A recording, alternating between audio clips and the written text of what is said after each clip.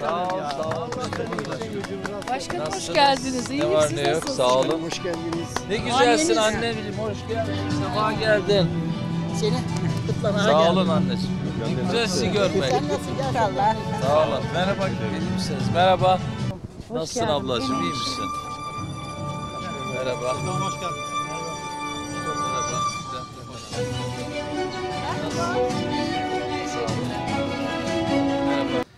Değerli konuklarımız, sevgili Çatalcalı hemşerilerimiz, hanımefendiler, beyefendiler, çok kıymetli milletvekilim, değerli siyasi partilerimizin ilçe başkanları, yöneticileri, değerli meclis üyesi arkadaşlarım, ee, değerli belediye başkanım hoş geldin, sefa geldin Bingöl'den sana da.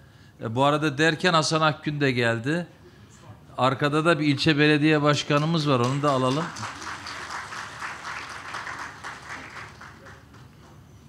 Evet.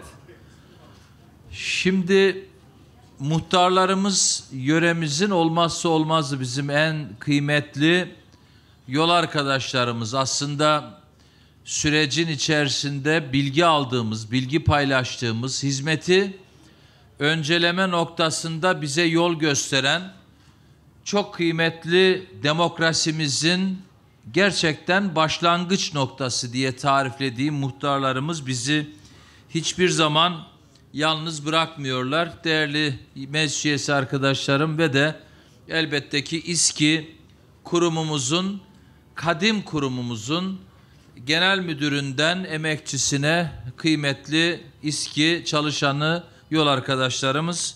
Hepiniz hoş geldiniz, sefa geldiniz. Hayırlı olsun bu güzel binamız.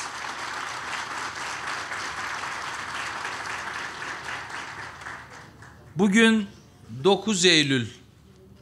9 Eylül aslında tarihi açıdan belki de en önemli anlardan bir tanesi. İşgale uğramış ülkemizin milletçe ayağa kalktığımız, büyük bir direniş gösterdiğimiz, artık bitti tükendi denilen Anadolu'nun, Trakya'nın, o güzel insanların bir araya gelerek, büyük mücadele vererek, Ulu Önder Mustafa Kemal Atatürk önderliğinde ulusça büyük bir mücadeleyle ülkemizi işgal eden kuvvetleri İzmir'den yaptıkları yanlış üzerine o mücadeleyi kazanarak tekrar milletimizin özgürlük alanını bu topraklarda bize kazandırmışlardır. O bakımdan 9 Eylül çok kıymetli bir tarihtir. 9 Eylül İzmir'in kurtuluşu, milletimizin özgürlüğünü ilan edişi tekrar 99. yılında hem milletimize hem İzmir'imize hem bütün ülkemize kutlu olsun.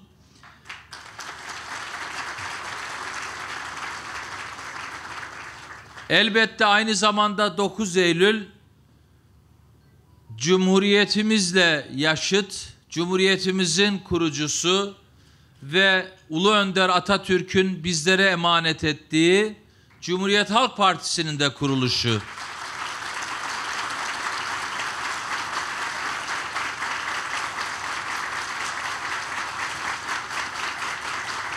Siyasete karar verdiğim ilk anda milletimize, cumhuriyetimize, Atatürk ilkelerine ve devrimlerine olan bağlılığımla Cumhuriyet Halk Partisi'nde siyaset yapacağım diyerek yola çıktığım partimin 99. yılında kadim kent İstanbul'umuza hizmet etmenin bir Cumhuriyet Halk Partili olarak milletimizin gurur duyacağı işler yapabilme mücadelesini verebilmenin onurunu ve gururunu yaşıyorum. Bir Cumhuriyet Halk Partili olarak, Cumhuriyet Halk Partisi'nin bir evladı olarak.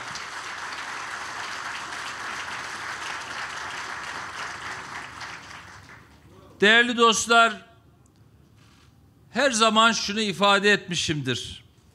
Partili olmak milletine hizmet etme noktasında görevini yerine getirmek anlamına gelir. İyi partili olmak, güzel partili olmak, partili olmanın hakkını vermek bu anlama gelir. Bir partinin mensubu olmak, parti adına her şeyi yapmak, her yol mübahtır anlayışı değildir. Partili olmak, o partinin değil, milletin, devletin, cumhuriyetin kutsallarını korumak ve geliştirmek anlamına gelir. Bu bağlamda partilerin hizmet için bir araç olduğunu ve esas olan devletimiz ve milletimizin bekası olduğunu unutmamak gerekir. Bugün ülkemizde bu anlayışın karşısında bir anlayışla mücadele etmekteyiz. Parti devleti anlayışıyla mücadele etmekteyiz. Hatta parti her şey. Hatta bugün burada harcadığımız bir projeyi, bir bütçeyi burada başka bir partinin adına konuşan kişi olsaydı AK Parti projesi olarak AK Parti yaptı, AK Parti'nin işi diye tariflerlerdi. Açık ve net. Bunu ben söylemiyorum. Kendileri meydanlarda söylüyorlar.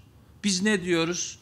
Cumhuriyet Halk Partili olarak biz milletimizin bütçesini bize emanet eden halkımıza mahcup olmamak adına en edepli bir şekilde, en tasarruflu bir şekilde, en kaliteli ve en güzel bir biçimde milletimizin bütçesiyle yaptığımız İSKİ'nin bu hizmetini milletimize hediye etmeye geldik diyoruz.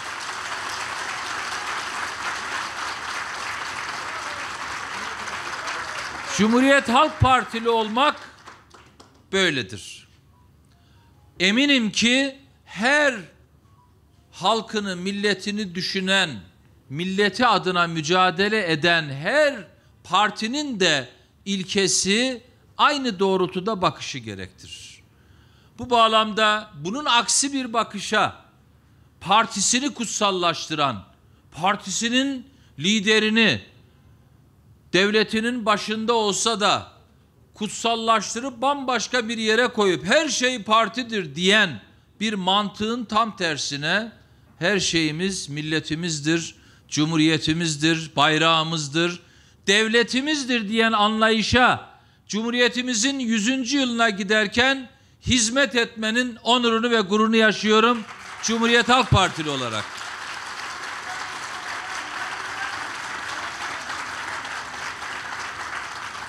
Bunu şunun için anlatıyorum.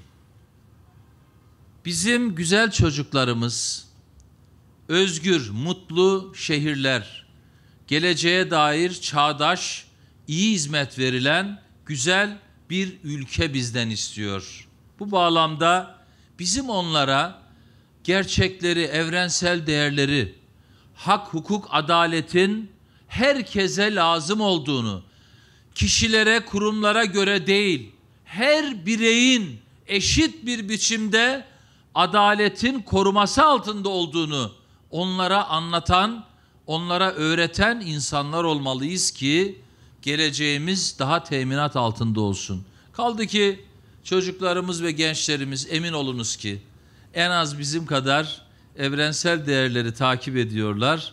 Haksızlığa ve hukuksuzluğa karşı inanılmaz dirençli bir kimliğe ve kişiliğe sahipler. Bu bağlamda ben ülkemizin geleceğine dönük çocuklarımızın ve gençlerimizin de hak ettiği bir süreci İstanbul'a kazandırma konusunda sonsuz mücadele vereceğimi, en üst seviyede hizmet edeceğimi, buradaki o yüzü, yüzü gülen Çatalca'nın o emekçi, tarlasından ürününü çıkartan, şehrinde hem İstanbul'da ama hem de İstanbul'un dışında mutlu bir şehir olmayı kendisine ilke edinmiş. Gerçekten insanın içine huzur veren, huzur katan Çatalcalı dostlarımızın huzurunda söylemenin de onurunu ve gururunu yaşıyorum.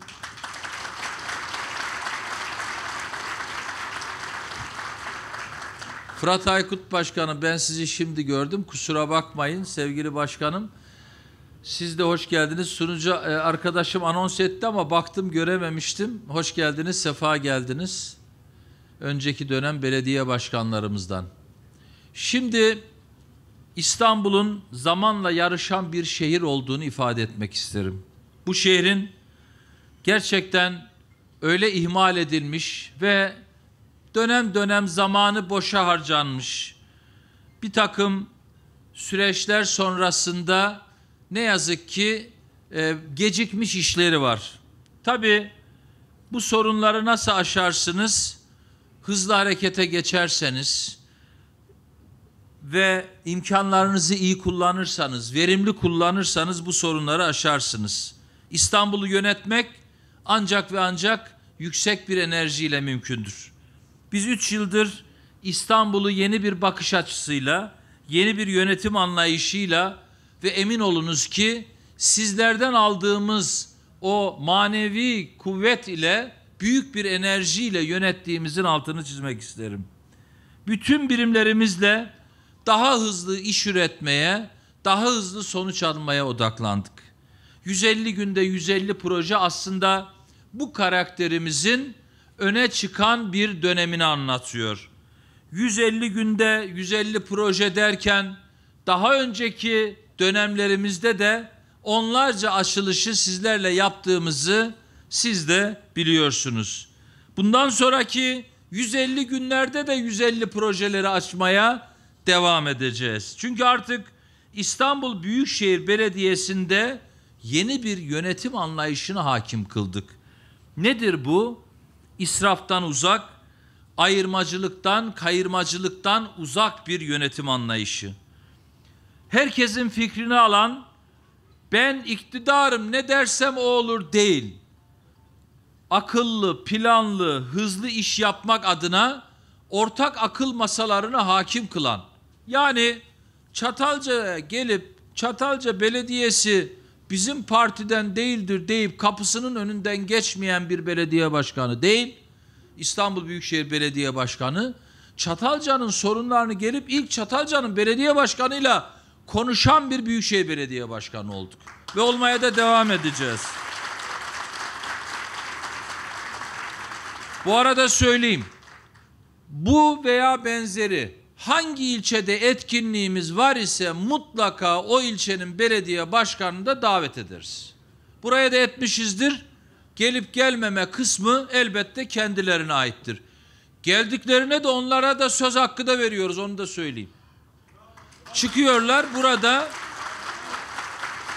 duygularını ifade ediyorlar. Bunu vermeye de devam edeceğiz. Çünkü dediğim gibi gelip gelmeme hakkı elbette kendilerinin takdiridir. Ona biz bir şey diyemeyiz. Çünkü biz buranın, bu yönetimin, bu koltuğun halka ait olduğunu biliyoruz. Aynen Çatalca'da bu dönem seçilmiş arkadaşımızın koltuğunun da halka ait olduğunu bildiğimiz gibi. Dolayısıyla Çatalca'daki belediye başkanı arkadaşımız da milletini temsil ediyor. Ben de milletimizi temsil ediyoruz. Ha diyorsa ki yok ben sadece partimi temsil ediyorum ayrı bir şey. Biz öyle demiyoruz. Kabul etmiyoruz. Her gittiğimiz yere davet ediyoruz. Bunu Çatalca için demiyorum. 39 ilçenin 39'u için söylüyorum. Sayın Hasan Akgün Büyükçekmece'de bilirler. Ben de hani Beylikdüzü'nde 5 yıl belediye başkanlığı yaptım. Bilirim ki biz ne yazık ki ne çağrıldı, çağrıldık, ne davet edildik, ne de ziyaret edildik. 5 yıl boyunca. Çok acı değil mi? Ben bunu üzüntüyle söylüyorum, onu söyleyeyim. Çok acı. Dolayısıyla biz bunun tam tersini yapıyoruz. Ve bunu yaptığımız için belirli kesimler, sadece belirli bölgeler, belirli köyler, belirli mahalleler değil, tamamına hizmeti kendisine felsefe edilmiş bir yönetimiz. İstanbul'un dört bir yanı için hem hizmet var, hem çözüm var, hem üretim var bizim yönetimimizde. 150 proje içerisinde metro hatları da var, devasa yeşil alanlar da var, arıtma tesisleri de var, Büyük altyapı projeleri de var. Aynen Çatalca'da olduğu gibi. Aynı zamanda kreşlerimiz de var. Hiç olmayan bugüne kadar. Öğrenci yurtlarımız da var. Kütüphanelerimiz, sağlık merkezlerimiz, spor tesislerimiz de var. Otoparklar, caddeler, meydan düzenlemeleri tümüyle İstanbul'un layık olduğu projeleri hayata geçirme süreci var. Tabii aynı zamanda maneviyatımızı koruyan tarihi eserleri, camileri ve bunun gibi bir takım bize emanet edilmiş surlarıyla miraslarımızı da koruyan bir anlayış var. Yeni halk ekmek fabrikasından kent lokantalarına varıncaya kadar hem istihdam sağlayan hem de vatandaşımızın zor günlerinde yanında olan tesislerimiz de var. İstanbulluların hayatını her alanda kolaylaştıracak, güzelleştirecek ve İstanbul'un her noktasına değer katacak projelerimiz var. Elbette bizden önce de projeler yapıldı, bitirildi. Yapılan her iyi proje milletimize kalıyor. Yapılan her eksik ya da yanlış iş milletimizin sırtına yük olarak kalıyor. Bu bağlamda bizden önce başlamış bazı projeleri de en iyi biçimiyle analiz edip vatandaşına kazandırma noktasında titiz bir çalışma yürüt, yürüten belediyeyiz biz aynı zamanda. Bakın bir örnek vermek istiyorum. Örneğin Çatalca'ya 2004 yılında doğalgaz geldi.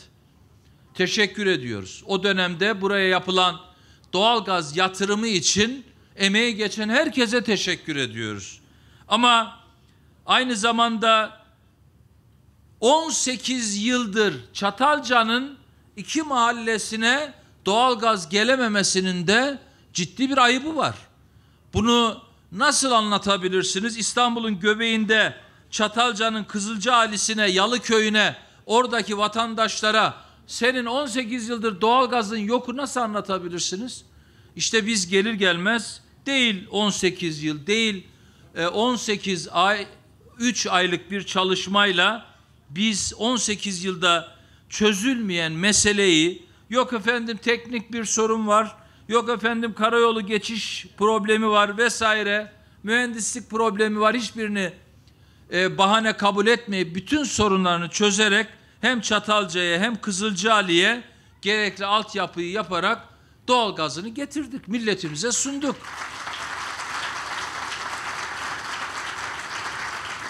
Sadece üç ayda İktaş'ın yönetimine teşekkür ediyorum. Dolayısıyla dert ederseniz, o hesabı yapmazsanız, orada kaç kişi var ya iyi oy gelir mi demezseniz, bir kişinin bile hizmet alması için o kapıya su getirmek zorundasınız. Bir kişinin bile eğer yasal bir yerleşim alanındaysa ve ona orada yaşama hakkını usul olarak da tanımışsanız kapısına yolunu getirmek zorundasınız. Yerel yöneticilik böyle bir şey. O bakımdan biz Çatalca'daki İSKİ'nin burada hizmetlerinin hem az önce genel müdürümüzün anlattığı gibi depremsel sorunlarını çözmek, e, daha sağlıklı bir binaya gelmesini sağlamak hem de kalıcı bir hizmet binasını oluşturmak hem de geleceğe dönük gerçekten e, yakışan bir hizmet binasıyla Çatalca'yı buluşturmak aynı zamanda Çatalca gibi alanı geniş, özel ilgiye muhtaç ve aynı zamanda e, Büyükşehir Belediyesi'nin işlerinin daha iyi koordine olabilmesi adına da bir Büyükşehir e, koordinasyon birimi ki bunu Çatalca'da, Şile'de, Silivri'de bunun gibi alanlarda başlattık.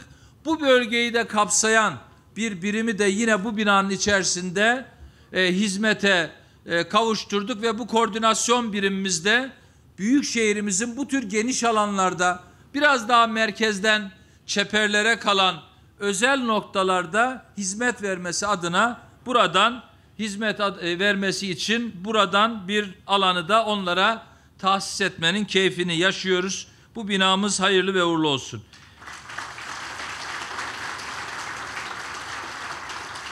Değerli hemşerilerim, İSKİ ile ilgili birkaç cümle söylemek istiyorum sözlerimi bitirirken.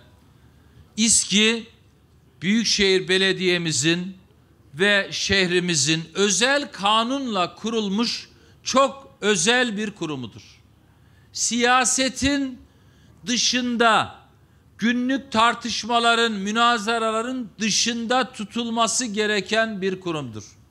Bakınız bu kurumumuz büyük zorluklarla mücadele ederek az önce bahsettiği gibi genel müdürümüzün yüz milyonlarca liralık sadece Çatalca'ya neredeyse 600 milyon liraya yakın bir yatırımı yapmıştır bu süreç içerisinde, bu dönem içerisinde. Böylesi bir kurumun elin üstünde tutulması lazım, korunması lazım. Bakın İSKİ kurumunun çok az merkezi idareden aldığı payın dışındaki gelirinin büyük bir kısmı su faturalarıdır. Su faturasıyla sadece size suyu sunmaz İSKİ. Aynı zamanda su havzalarını korur. Aynı zamanda suların biriktiği barajlarımızı korur, bakar. Aynı zamanda orada biriken sularımızın temizlenerek size temiz suyu ulaştırır. Musluğunuzdan içilen suyu sağlar. Aynı zamanda hepimizin evinden atık su çıkıyor. Bu atık suyu temizler ve bu atık suyu temizlendikten sonra ya geriye döndürerek ama sanayide ama bazen sulamada kullanır ya da temizlenmiş o atık suyu denize deşarjla beraber tekrar doğaya zarar vermeden sürecini tamamlamak için bu hizmetlerin tamamını yapar İSKİ. Bakın İSKİ'ye gelir gelmez normal aylık zam yani neye göre tefe tüfeğe göre aylık zam yapılan sistemi meclisteki kararla bu yönetim kaldırdı. Niçin kaldırdı? Efendim vay siz niye indirim istiyorsunuz? İndirim istiyorsunuz. Alın indirim ama biz de sizin zam şeyinizi, usulünüzü kaldırıyoruz. Niye? Mecliste biz çoğunluğuz gelip bize zammı getireceksiniz biz karar vereceğiz. Peki olsun. Kaç defa getirdiysek 50 su suyla ilgili 50 tane bahane, 100 tane bahane çoğu kez vermediler. Çok az seferde kafalarına göre anlamsız zamlar vesaireler oldular. Ve bugün baktığımızda İSKİ kurumumuz Türkiye'nin şehirleri arasında en pahalı hizmet sunmak zorunda kalan. Çünkü bakın ta Melen'den de buraya su basılıyor. Terkos'tan yani 100 kilometrelerce suyun basılarak İstanbul'a getirildiği, yeni arıtma tesislerinin yapıldığı bakın sadece 600 milyon lira Çatalca'ya diyorum. Birçok şehir, e, ilçemizde 1 milyara aşan yatırımların yapıldığı ve yapılmaya devam ettiği bir kurumdan bahsediyoruz. Böylesi bir kurum şu anda büyük şehirler arasında neredeyse son sıralara inmiş durumda tarifedeki su parası. Ve kalkıyor birileri ya su parasının da insanlarımıza çok büyük yük olduğu. Bakın ben bütün hemşerilerimize söyleyeyim. Biz göreve geldiğimizde su faturalarınızla elektrik faturalarınız neredeyse aynıydı. Bugün evinize gelen su faturası ile elektrik faturasının bakın neredeyse beşte biridir, altıda biridir. Peki su faturası bedava mı? Hani bunu birkaç kez ya su bedava. Değil su bedava. O zaman elektrik de bedava. Elektrik de hidroelektrik santrallerinden akan sudan yapılıyor ama öyle değil. Su da buraya parayla geliyor. Nasıl geliyor? Örnek vereyim size. Ocak ayında öyle bir sene, iki sene, üç sene değil bakın Ocak ayında İSKİ'nin su faturası 200 milyon lira civarındayken 200 milyon yani eski parayla söylemeye utanıyorum 200 trilyon 200 milyon lira aylık su faturası iken şu anda aylık su faturası 600 milyon liraya yaklaştı. 600 milyon. Yani bu kadar devasa bir zamla mücadele ediyoruz. Ve bakınız biz yeni bir bütçe, ek bütçeyi meclise sunmak zorundayız önümüzdeki hafta. Dolayısıyla İSKİ'nin bütçesi, İSKİ'nin tarifesi siyaset dışıdır. Milletimizin musluğundan su akıtılması işidir.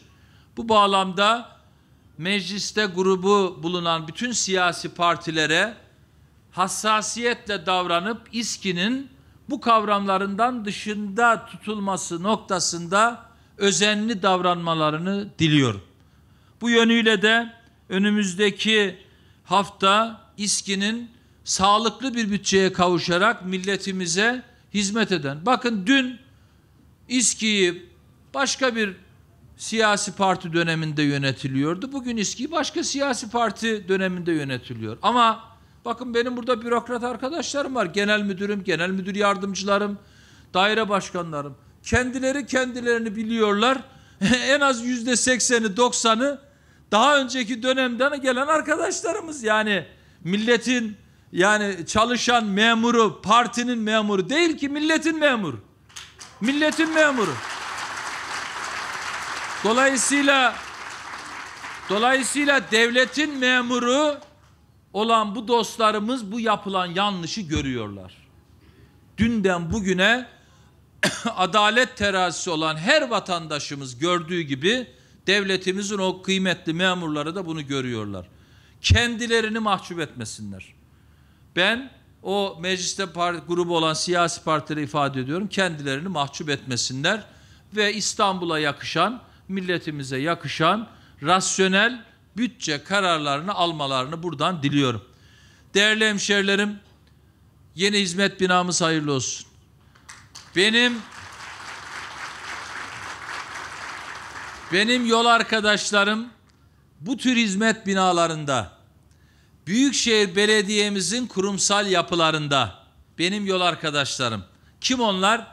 Kapıda karşılayan güvenlik görevlisinden içerisinde bankoda selamlayan memuruna ama ister kadın ister erkek olsun şube müdüründen daire başkanına, genel müdür yardımcısından genel müdürüne kadar insanına en az benim kadar güzel gülümseyecek.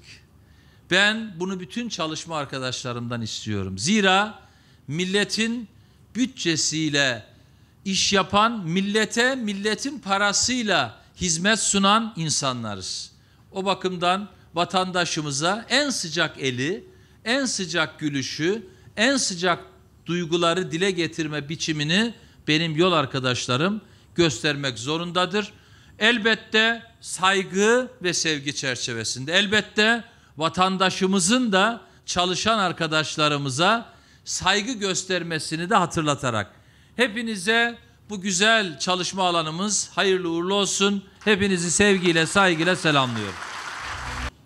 Büyükşehir Belediye Başkanımız Sayın Ekrem İmamoğlu'nun göreve gelmesinden bu yana Esenler ve Zeytinburnu'dan sonra 3. yeni hizmet binamızı Çatalca ilçemize kazandırmanın mutluluğunu bugün sizlerle paylaşıyoruz.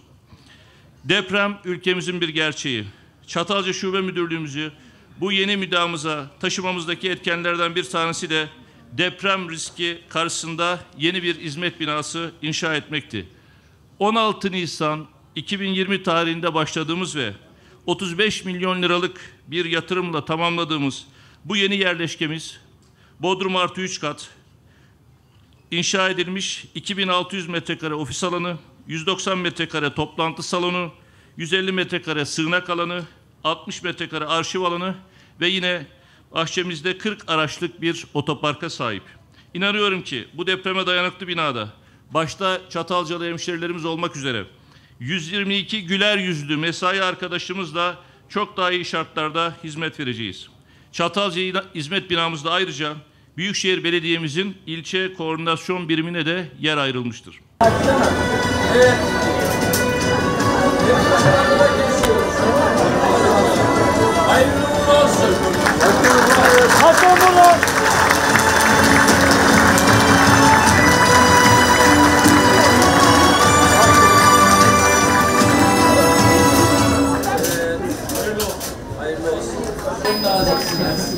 Çok teşekkürler. Buyurun efendim. Başarılar hepinize. Kolay gelsin şefim. Başarılar. Evet. Diliyorum hepinize. Çok güzel. Buraya aranızda hiç erkek almamışsınız yani. güzel. Burası kadın e, ağırlıklı olmuş. Tamam. Hoş geldiniz başkanım. Nasılsınız? Teşekkür ederiz. Bir binayı hediye ettiniz. Estağfurullah. Hep çok beraber teşekkür yaptık. Nice güzel işlerinize, başarılarınıza. Sağ olun. İnşallah hep birlikte.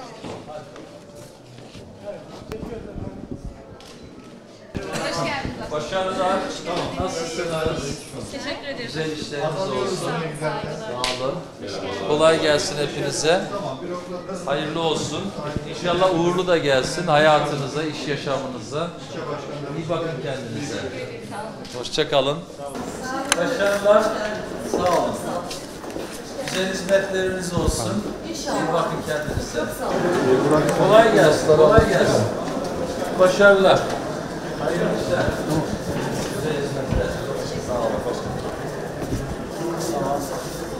Evet efendim çekiyoruz. Aşağıda da personelimiz var. Sizi de oraya alalım. Hep beraber bir toplantı. Tamamdır. Efendim buradayız. Gezi alıyor mu? Evet başkanım. Güzel. Onur bir dakika, bir dakika. Tamam al şimdi. Güzel kızlar. Gel. Ah. Yerim bakalım. Güzel kızlar iyi günler. İyi günler Gel. de iyi başlar. Gel beraber. Bana bir araba lazım. Ahmet.